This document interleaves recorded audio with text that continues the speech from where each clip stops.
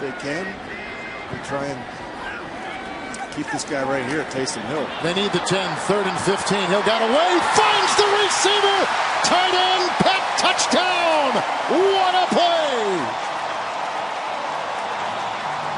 He'll watch him step up inside, slide, keep the ball in a throwing position, and find Peck in the back of the end zone. Well, he's